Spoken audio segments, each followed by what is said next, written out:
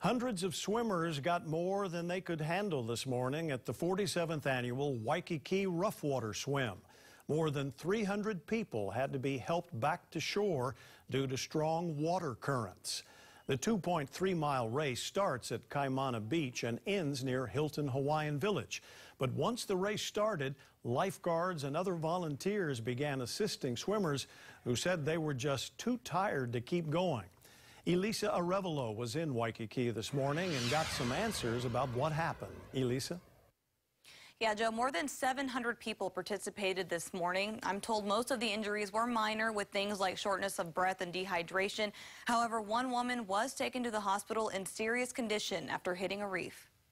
It's called the Rough Water Swim for a reason, but this year, hundreds of swimmers got more than they bargained for. It just felt like you're on a treadmill and never moving. I wish it had been a little bit easier. First timer Chris Davis says his experience could have gone better. You could look at the same piece of coral, swim for 10 minutes, and see the exact same piece of coral underneath you. They pulled out a lot of people today. Race organizers tell me conditions were fine when they put out the buoys early this morning. They said the currents were totally neutral, and then right before the um, the race started, our safety guys told us that there's actually a pretty bad current. But not bad enough to cancel, so the race went on. However, more than 300 swimmers struggled to finish, many of them saying they were just too tired to make it to shore. And so um, the water patrol that was hired for the race started to bring people that were tired um, that uh, didn't want to continue on with the race. On this one, we warn people, we tell them it's going to be tough. For even the fastest guys,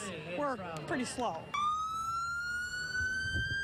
The same scenario played out in the 2003 rough water swim. Hundreds of people needed help. In the water today, hundreds of others finished the race, including Chris's seven-year-old son, Brahman. Would you say it was hard at all? I love it. It's definitely one of the hardest things I've ever done. I can't believe he did it at seven years old. Race organizers do have permits from the city, county, and the Department of Natural Land and Resources in order to operate this event, and swimmers are required to sign a liability waiver to participate.